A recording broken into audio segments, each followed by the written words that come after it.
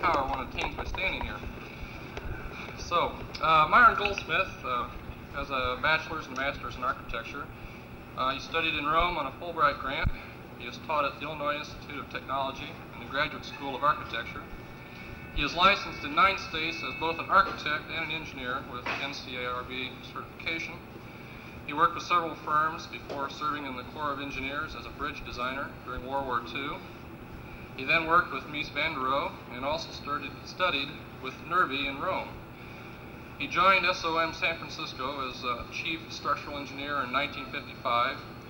He moved to the Chicago office as senior architectural designer and participating associate in 1958. He became an associate partner in 1961 and a general partner in 1967. He has worked on rapid transit stations for the Kennedy and Dan Ryan Expressways in Chicago, the Oakland Alameda County Coliseum, the Europoint office building in Rotterdam, Holland, a central business district plan for Columbus and one for Elkhart. And I also confirmed that uh, he did work on uh, United Airlines Executive Office Building and the Solar Telescope at Kitt Yeah. Peak National Observatory. No, Dave. He had an exhi- exhibition at the Museum of Modern Art in New York in 1964. Mr. Goldsmith has received numerous a awards for the projects I mentioned, plus becoming a fellow in the American Institute of outside here? Architecture in 1972. Okay. Ladies and gentlemen, Myron Goldsmith. Now, let me step down there and see what's happening then. We just have, They changed the lights.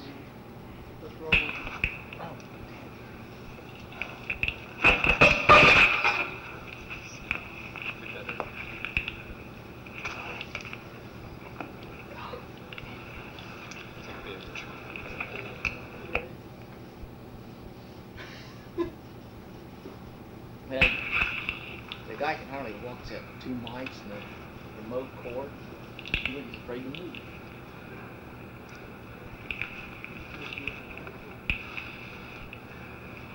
Uh, uh, Ladies and uh, gentlemen, and uh, thank you for that nice introduction. I- I'm very glad to be here to, uh, to speak to the students and faculty this college. Uh, I think we can best start by uh, just starting with the slides, and uh, and uh, after it, the talk is over, I'll be very glad to answer any questions that you have. So why don't we uh, darken the room, and we can start.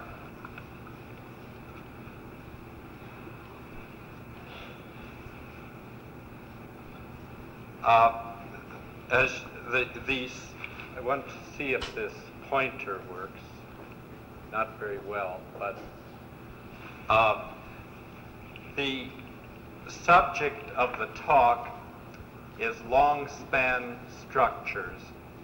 And I'm going to speak uh, primarily about building structures. But first, a few words of what is the uh, particular uh, meaning of a, of a long span structure. And I think we can start with this diagram of bridges of, Yeah, of different structural types As much as anybody's paying attention. the, the longest spans of which are drawn to the same scale. For example, the bridge at the top is a suspension bridge. It happens to be uh, uh, the, the longest uh, bridge of uh, uh, the Verrazano uh, Straits Bridge in uh, New York, uh, and a span something like about 3,500 feet of the central span. And then uh, thereafter, uh, the, the, Cantilever Truss, the next longest span of the Quebec Bridge, about 1,500 feet. Uh, the steel arch below it uh, in Australian, also about 1,500 feet. And below that, we rapidly decrease to trusses of a, a span under 1,000 the plate girder of a span in the uh, neighborhood of a thousand feet. Now, uh, this chart is intended to show that in any structure, as the size changes, uh, you get a new structural type. Uh, this uh, for, for example, when you're in the range of over hear that down there now? 2,000 feet, It's coming through. there, Okay, there just isn't any other uh, kind of bridge but uh, a suspension span. And when you're at something in the range of uh, four or five hundred feet, there's a whole series of other types of, of uh, bridges that are more economical and more appropriate.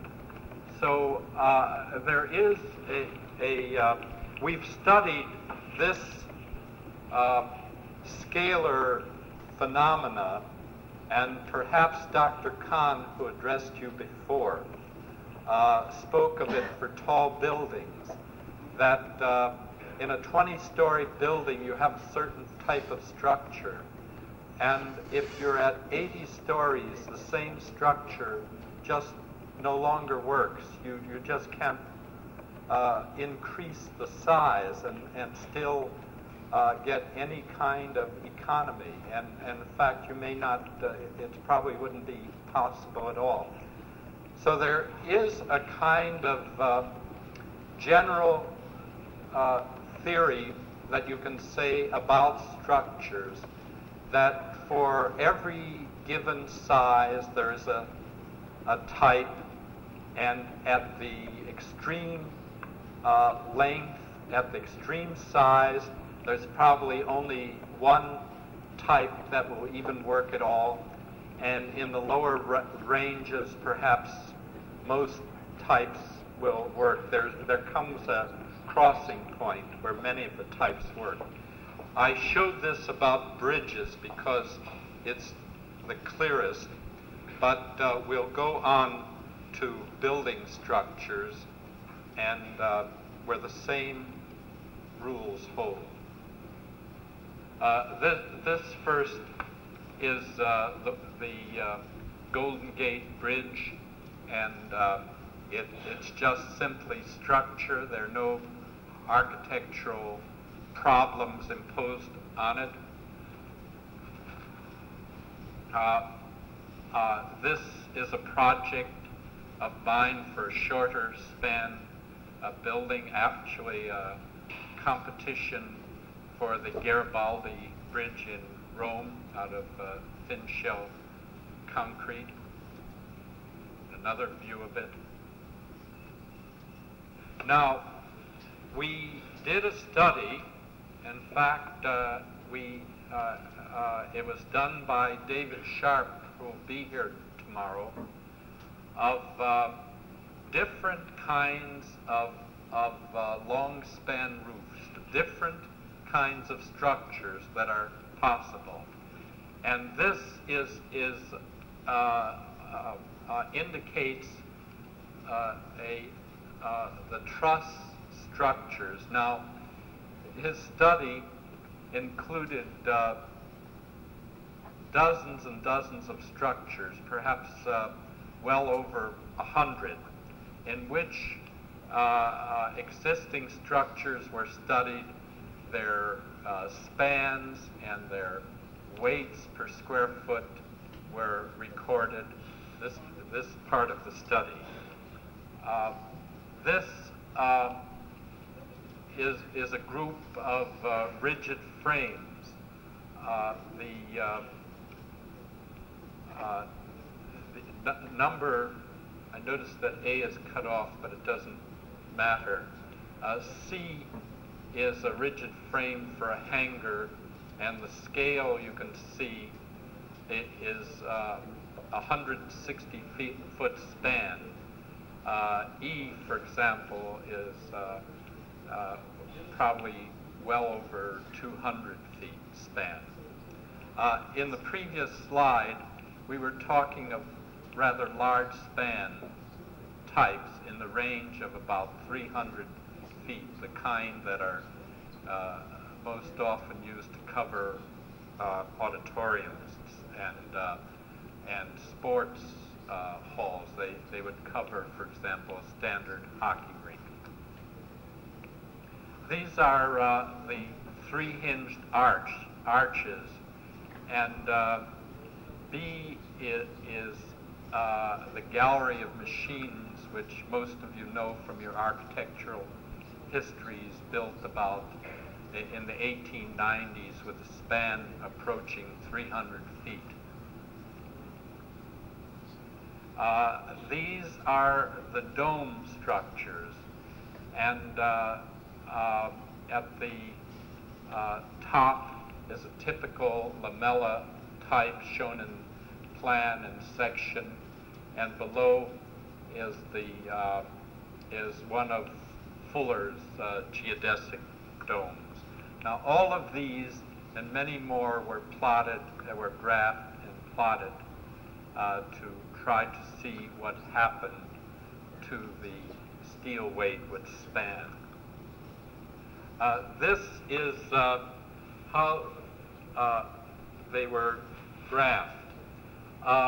The horizontal scale is, is feet starting at 300 feet and going at the left end and about a thousand feet at the right end. The vertical uh, scale is pounds of structure per square foot, starting uh, with zero at the lower corner and going up to 40 pounds per square uh, foot. Uh, the truss, the, the graph at the top is what happens to the weight of trusses at about 400 feet. They're going up very rapidly. Uh, the graph below is two-way space frames, which has a very much lower curve. Uh, the uh, uh, the and then we, we have a whole bunching of geodesic domes, lamella domes, and cable-supported roof structures on a, uh, on a, on a lower line. And the graph is interesting. If you have a certain span, you could very nearly pick off how much that span would weigh per square foot for the structure, for a given structure. Now, there's another graph which I do not have, which uh, graphs cost. Uh, now, the cost curves are slightly different from these, but in general follow the same uh, pattern. Now, uh, what do they, what do these graphs show? These graphs show uh, that a, um, around 300 feet, they're all very much bunched. Uh, the trusses will come down to uh, intersect that. But as you go into the longer spans, around uh, uh 700 feet or more, uh, most structures drop out and there are the domes and the uh, suspension structures that are the only two really valid structures uh, that you can work with with any degree of economy at those spans.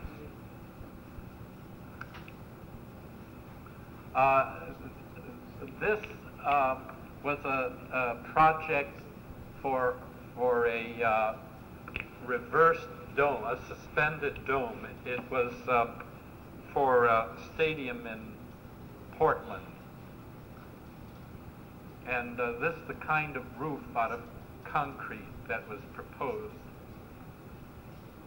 And this is a reflected plan of the uh, well, a view from below of the roof.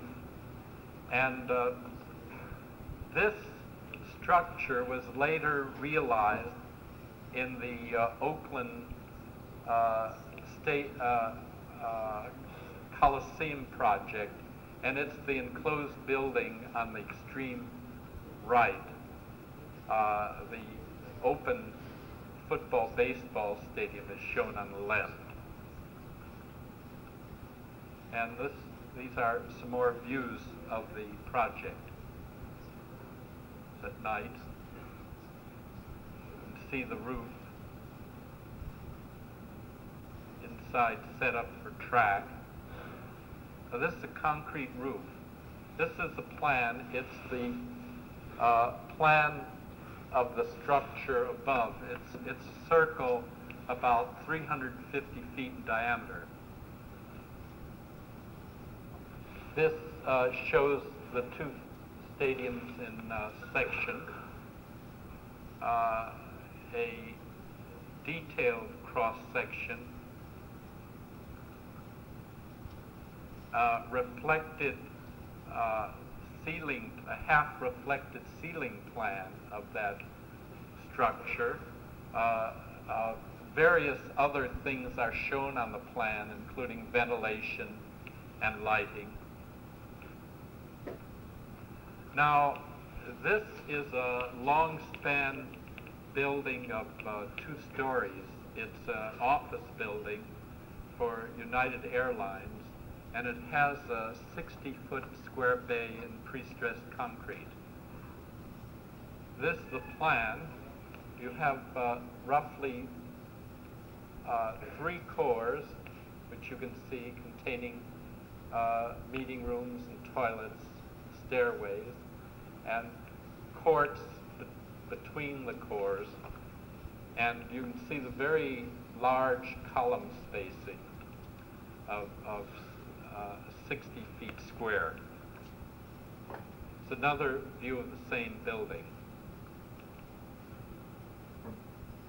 Now, I worked on a number of hangar projects, and this is a cantilever hangar for uh, uh, planes of the size of the DC-8. You can see the core in the center of shops and the columns uh, at the edge of the core, and the uh, uh, roof is cantilevering 150 feet beyond the core. It's the model. It's the building under construction. There's a concrete structure with uh, steel plate girders above under construction. There's some idea of the scale and the workmen making that joint. So, another view. Uh, the roof.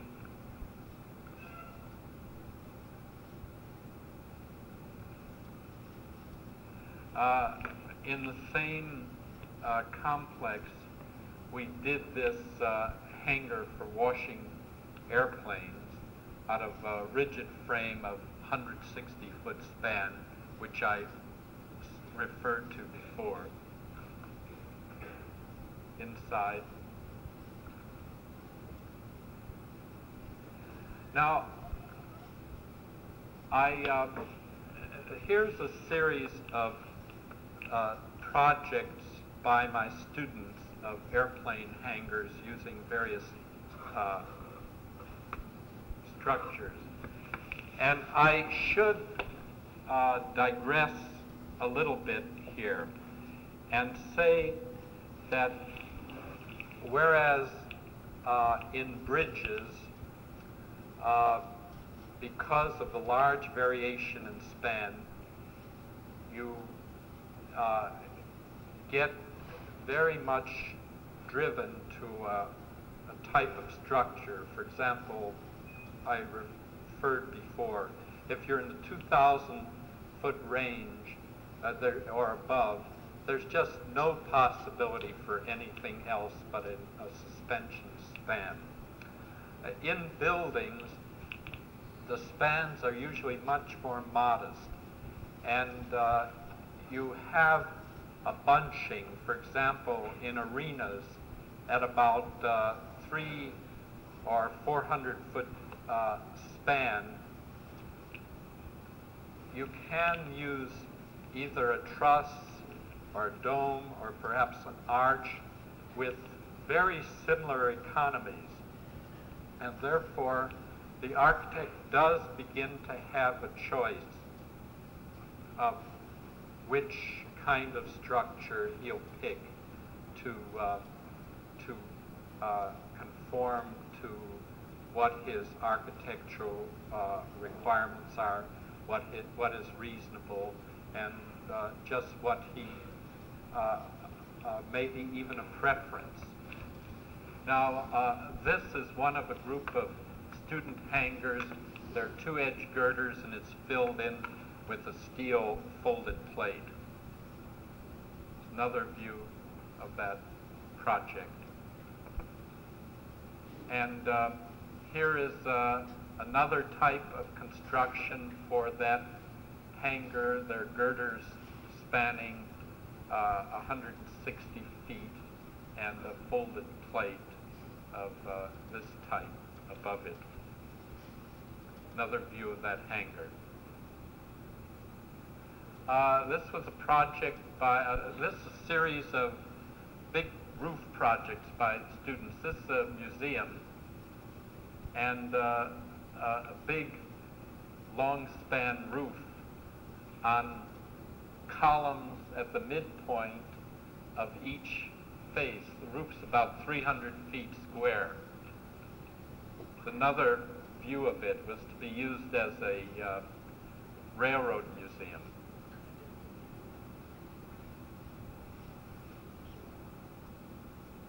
Uh, another student did a sports uh, complex in which a track which you could identify at the lower left and a, a uh, arena for about 10,000 spectators were put under one roof.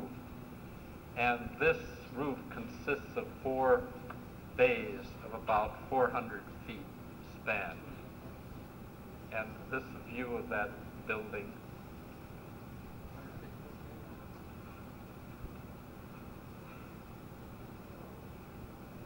Now, uh, one student studied suspension structures, and uh, he chose a very large exhibition hall of uh, a thousand by two thousand. In fact, his problem was to put uh, uh, was, was to put many of the buildings of the Montreal World Fair under one roof. And uh, I don't know whether you can all see the column pattern in the uh, second from the left and the third from the left. But uh, the, these were three different column patterns that were done uh, using different structures but all having the same economy. On the left is a clear span hall of a thousand feet using a suspension structure. In the uh, center is uh, a column system of about uh, 250 by 250 foot square bays. Uh, uh, I think they're 290, uh, using a, a uh, two-way grid system. And beyond that is, uh, is another rather linear system of somewhere about 300 foot span, not quite, about 250 foot span, using a one-way truss system. But if it becomes important that you want a clear span of such dimensions, then you, you really have to go to a, uh, for economy to a suspension structure, and what will follow is his project. The, uh, uh, the student's name is uh, Peter Pran.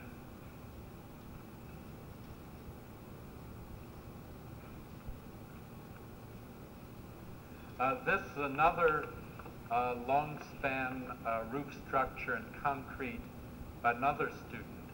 Uh, this was to uh, uh, cover a stadium for football, and the spans are in the order of, I, as I recall, about 500 feet.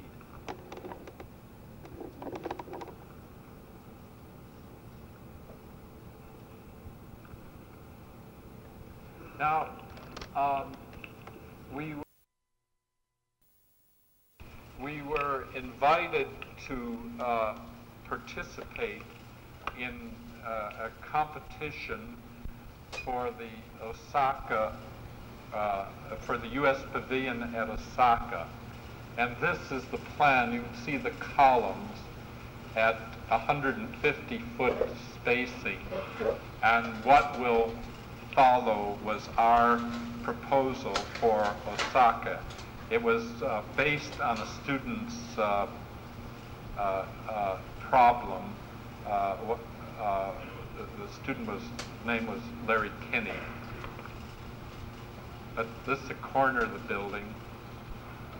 Uh, this is the kind of uh, suspension from a mast uh, that you can, you can, I think all of you can see the cables that radiate out from the center mast and the extreme thinness and lightness of the roof construction.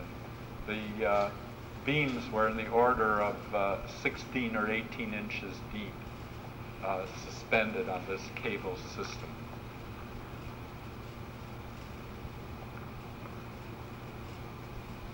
Uh, you begin to, in this slide, look into the interior of the exhibit.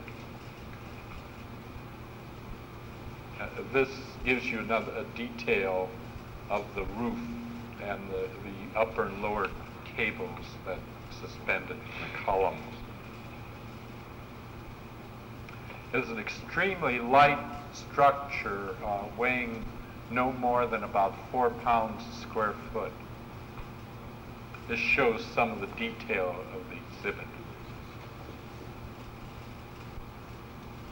And it was to be glazed in this fashion.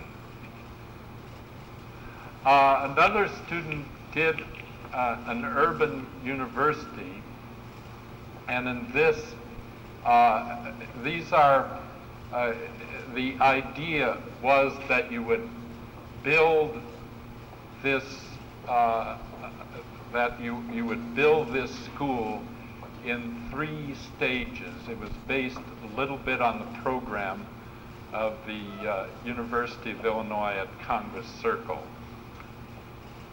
And uh, the dark spaces are uh, light courts. And uh, uh, this shows some of the complexity of the plan. Uh, this is one of the uh, bigger courts. Uh, this was built of precast concrete on a hundred foot bay, hundred foot square bays. But um, there, there's something about these long spans that uh, create a, a kind of new type of architecture, which uh, the, span, the, the space in itself does it. I think that finishes the first, does that finish the first tray?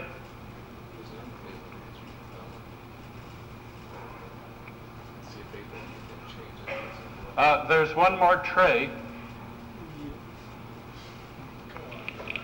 Uh, the next tray will be uh, about the Olympics, uh, the buildings for the Olympics in Munich. And uh, they in, my opinion, they're one of the most remarkable uh, group of uh, buildings that, that I've seen.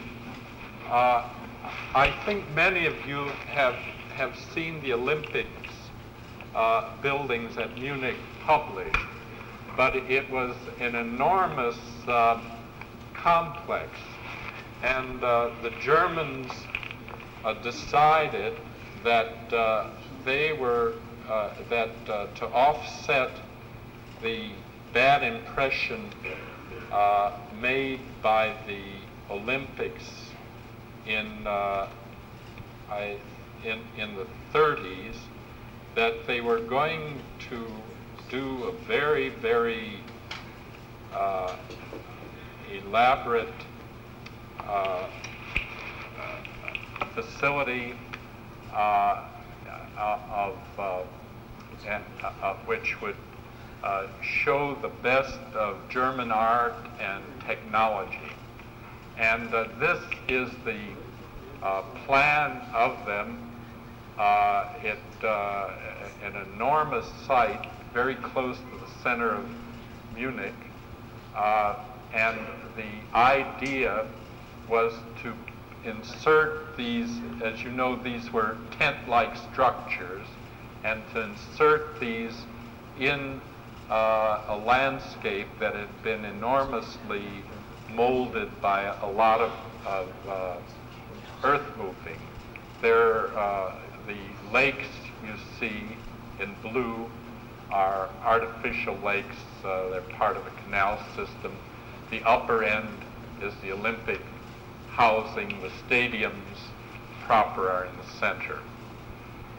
Uh, this is the group of stadiums. There's uh, the one at the extreme le left is the uh, open air uh, stadium for uh, track, which uh, seats 80,000. And in the middle distance, there's uh, a enclosed stadium for 14,000, and at the extreme right is the swimming stadium, about 11,000 seats. Uh, this is a closer view of the uh, stadium for track, and in the upper part is a section and uh, this is the uh, indoor events stadium. Uh, th these were enormous tent structures in the order of, um, in, this case, uh, uh you're spanning well over 400 feet. Uh, and this was the largest uh, use of, scaled use of tents by far up, up to that time. And here's the swimming stadium. Now, uh, this, it, these are some aerial views. Uh, this is the housing. Uh, in the upper part is the open stadium for track, and you can see the roofs of the closed stadium on the right and the uh, and the swimming pool on the left. And here you're coming closer. The right, again, is the enclosed stadium. You see the edge of the swimming pool on the left. Uh, this, you're looking down on the pool. The white portion is temporary for to get the required amount of seating, and it's later removed to make a more reasonable size as civic swimming pool. This is some of the lake, uh, if you can see. Uh, uh, here, uh, this is during the Olympics, some of the enormous crowds that simply came to uh, sit and watch. There was a certain amount of uh, entertainment going on out with the uh, Olympic events occurring inside the stadium. uh, a little bit removed, this as a kind of entertainment section, the swimming pool on the extreme right, and the enclosed stadium in the, cent- in the upper center. Some more views, the swimming pool on the right. This some of the crowds. There's uh, some kind of show taking place in the water. The uh, open stadium is in the background. It's at dusk. Uh, they had enormous sculptured and landscaped hill opposite these stadiums, and uh, uh, the, the whole composition was beautiful. Uh, some of the uh, crowds uh, along the lake. Uh, parks. You can see the stadium uh, appearing on the left, the uh, artificial hills in the background. Now we're going to come close to the uh, track stadium. We're on the back side. I get some idea of the enormous scale of it. It, it uh, the roof it is uh, of uh, transparent gray plastic. Uh, you see some of the beautiful connections that were made to uh, tie uh, several cables together. A view underneath the stands. Now we're uh, inside the, uh, entering inside the stadium proper. And we're under the stands, but inside the stadium. These are where food and drinks are sold, the, the orange kiosk. Now, we're inside at an event, and the reason for the transparent roof is apparent that uh, it's uh, not to cast a shadow uh, on the track that will get you into trouble with television because all of these events were uh, televised. And uh, in other words, the, uh, the exposure uh, between full light and shade was still within uh, television tolerances. And uh, in fact, uh, they did it extremely well. When seated in the stands, you felt sheltered, and yet uh, there was enough transparency out on the field in order not to uh, uh, kill the television performance. This inside uh, under the cover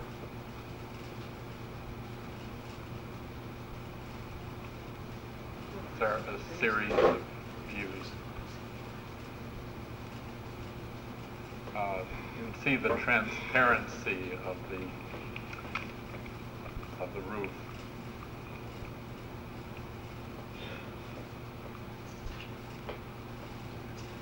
Details of the connections. Looking from the uh, out on the field with the stadium empty at night. Uh, the whole effect was something uh, very festive and and and uh, I, would say very fabulous. It's another view at night. Uh, this is outside, going from the stadium toward uh, uh, toward the uh, enclosed uh, sta- going from the open stadium toward the enclosed stadium. Uh, this is the closed stadium. Now, when you enclose under these kind of free-form roofs, you have enormous problems which are not very elegantly solved. That is, this glass wall coming up against the free form. Uh, it, they did very well on it, but, it, but it's an almost insolvable architectural problem, including having to provide for uh, deflections up and down of uh, almost uh, a total of perhaps three feet uh, with where the roof meets the glass wall. This is going into the entrance, some of the architectural problems that they were involved in. Another view of an entrance. Now we're inside the uh, stadium uh, at an event, and uh, uh this uh, one of the remarkable things, uh, just as a aside, they had uh, apparently solved the problem of uh, proper color of their artificial light because I'm using uh, daylight film in, in this interior and you can see that the colors are true. The red, uh, yellow, and blue jerseys they, it's, and they're using a, a kind of uh, mercury vapor light, and it's something we haven't been able to uh, to resolve in, in this country yet. Now we're in the swimming pool. Uh, that this is a daylight shot, and uh, the uh, glass roof is covered by an inner skin for insulating purposes, which becomes translucent, insulating and I think a certain amount of shading from glare. this pool. Another view uh, of the pool, diving pool in the foreground. Another view. Uh, these are uh, a series of details of the roof. Uh, the, the dark lines that form squares are the edges of the sheets and with uh, neoprene gaskets to, uh, with neoprene co co connections which allow a certain movement of the uh, sheets with respect to the cables, and uh, all the black dots are neoprene uh, supports which will allow this movement. This is an anchorage. this is a, a uh, uh, detail of the outside of that skin and uh, these connections to each other. It, at close view, it looks quite crude, but in the distances you normally see it, it it's, it's very acceptable. Uh, here's some of the uh, connections, the changes of directions for the cables on cast steel anchorages and saddles. Another view of this is another type of saddle.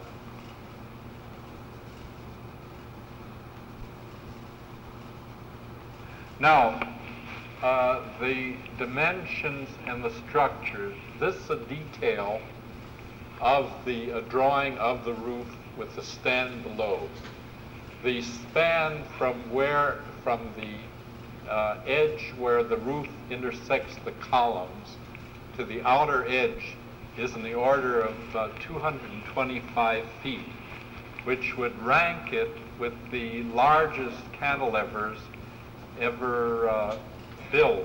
It, uh, this is about the dimensions you need uh, for these cantilever hangars for the 747. Uh, the outer edge is a continuous cable in an arc that uh, forms a, a, a, horizontal suspension, which is about 1,400 foot span.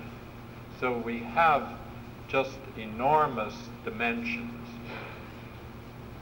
Uh, this shows in detail uh, how some of the stresses work. at the far right is uh, detail how the saddle-shaped nets, by being pre-stressed in two directions, get their stability against uh, uplift and uh, uh, and uh, vertical loads due to snow. In the center, uh, you see the forces of the, uh, uh, how the forces are resolved from the loads of the roof. And on the far left, how two sections come together and are uh, suspended in a kind of three-dimensional view. Now, uh, the, the, uh, as a technical feat, this was impressive. The cables were laid out on the ground and then hoisted in place, and you see three successive stages in how that roof was erected. This, this is the swimming, uh, I believe this, this is the swimming pool. Uh, no, no, it's the, uh, the enclosed stadium roof. Now, uh, these structures were enormously expensive. The, um, the roof cost about $60 a square foot. And to give you some idea of the enormity of it, uh, a normal office building uh, runs about 30 for the whole building, including the air conditioning. And this uh, roof ran uh, double that per square foot for only the roof. And it, it was, uh, in fact, a kind of um, national uh, debate going on whether they should have built the roof. Uh, I think the roof cost in the order of $48 million for all those roofs. But the uh, Germans spent uh, $600 million on the um, facilities for the Olympics. Uh, that's uh, just uh, when, when we say facilities, they built roads and new subways and uh, uh, all the housing for the athletes. So for that sum of money, they got uh, a, a, a uh, lot of permanent things which they would have not otherwise gotten. But uh, the lavishness at which they funded these, the, these games is uh, something nobody else had ever done.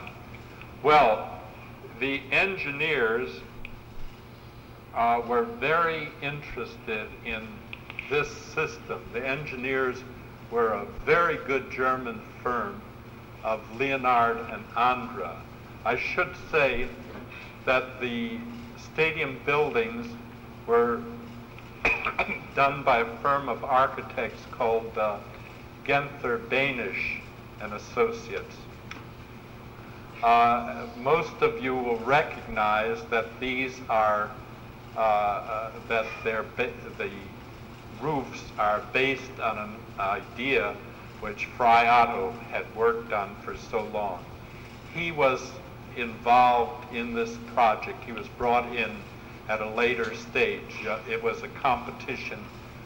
Uh, Behnisch won this competition uh, uh, and then brought in the engineers Leonhardt and Andrä and Frei Otto to realize the project.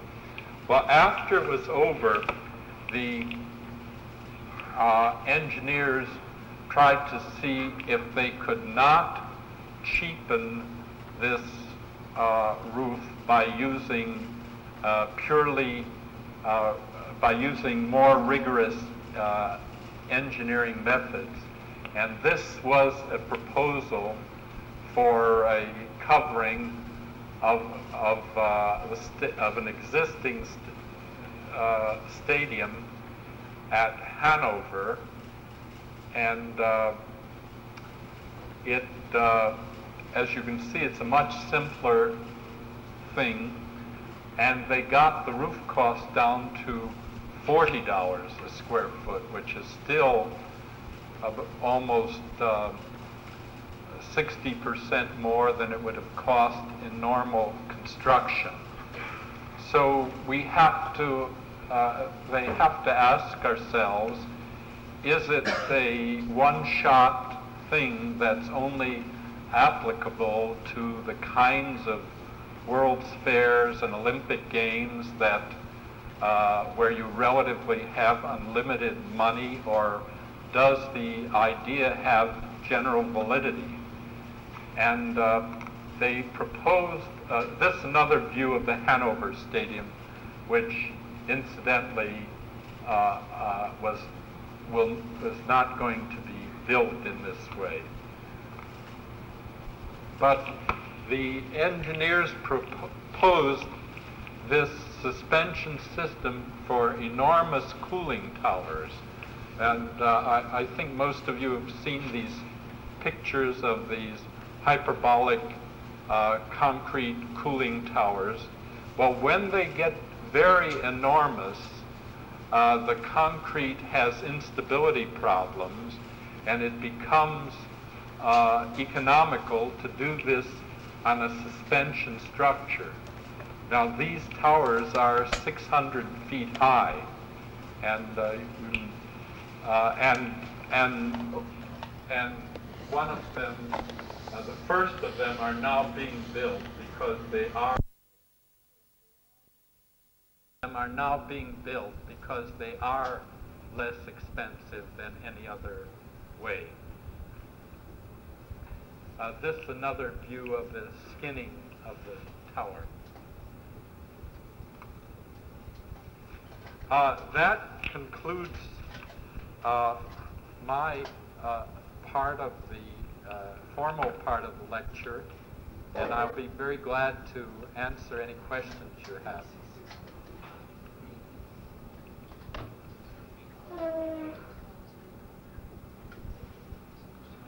Yes.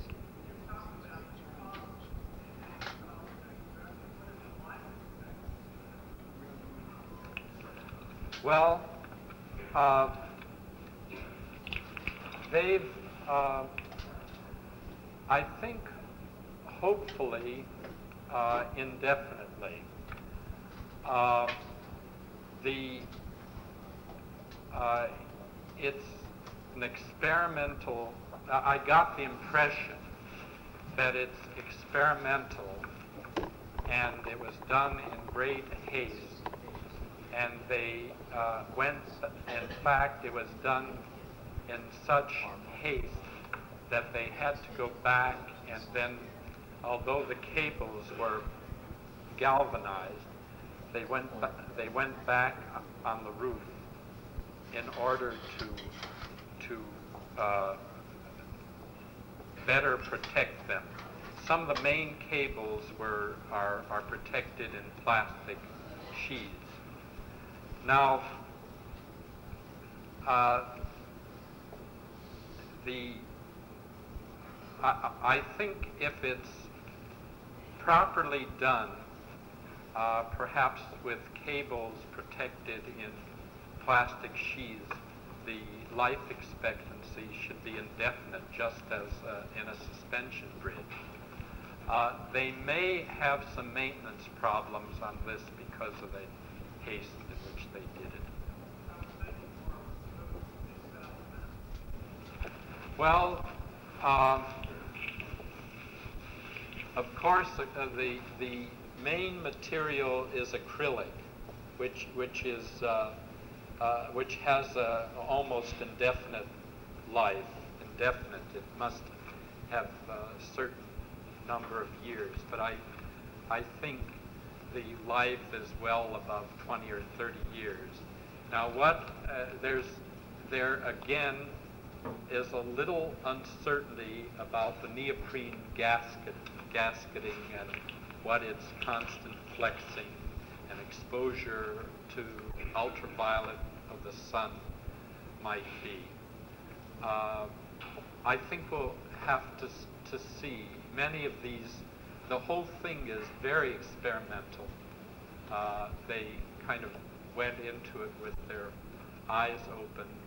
Uh, the the uh, they did appropriate they did appropriate uh, something like uh, $50 million for the long time upkeep of it so as not to burden the city of Munich with it. The, the project was basically financed by the federal government, the state of Bavaria, and Munich government. So there may be some problems. Yes?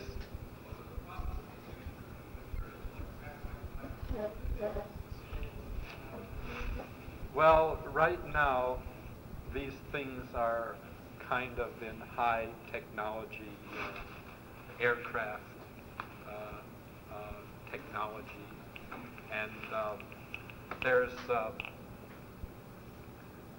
I think there's a serious question whether materials as sophisticated as that will really ever, in fact, be, be uh, really economical.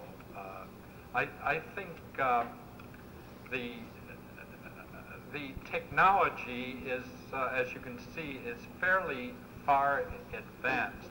There's high-strength cables and acrylic plastics which are uh, quite stable over long periods.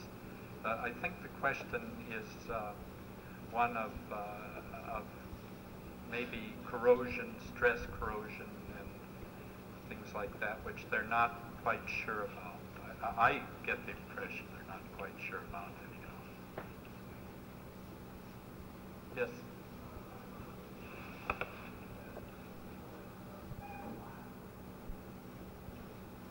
The acrylic is starting to turn black. Uh, it's not the acrylic. Uh, over the swimming, the enclosed structures, the swimming pool and the enclosed stadium, they have a insulation between that kind of canvas blanket you saw on the outside. Well, very high temperatures developed in this space in which the insulation began to turn black. And, and there's a project on now of how to replace it and with what to replace it. But uh, it, as far as I know, the acrylic itself has not had any problem. It's that insulation blanket that has.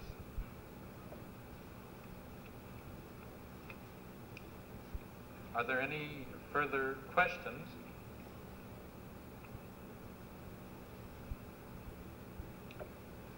Well, uh, then if there aren't, then uh, thank you very much.